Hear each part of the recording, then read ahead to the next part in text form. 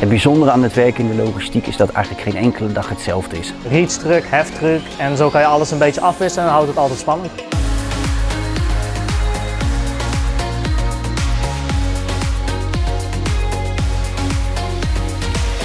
Maandag krijg ik de e-mails binnen met de orders.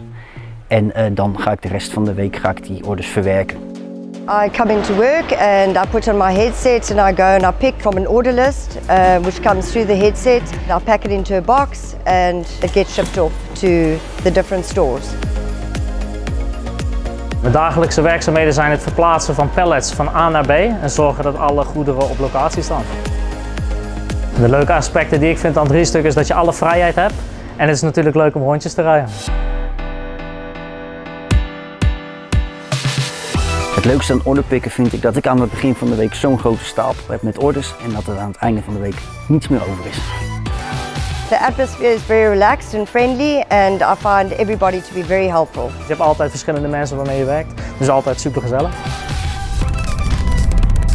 Every morning we start the day with coffee with the colleagues, um, which is quite nice just to catch up from the day before. And we find out where we're going to be working for the day. Your day could have variety because you could work in different departments. Then we go for lunch and we catch up there at lunch and then we come back, go and work in the same department that you worked in in the morning and then go home round at about two or three o'clock in the afternoon.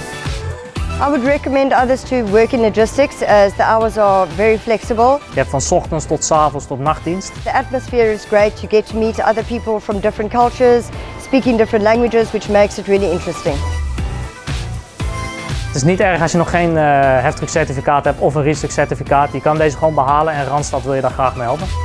Ik heb geen specifieke opleiding gevolgd. Ik heb een dag heb ik uitleg gekregen en dan uh, kan je eigenlijk al vrij snel zelf aan de slag. Iedereen kan gewoon in de logistiek werken. Wat je absoluut moet weten is dat er een planning aan vast zit en dat betekent dus dat eigenlijk iedere orde die moet zo snel mogelijk de deur uit. Dus het is best hard werken. The kind of person that you need to be to work in logistics would just be a flexible, hardworking person that does not mind um, going from department to department and yeah, be a team player.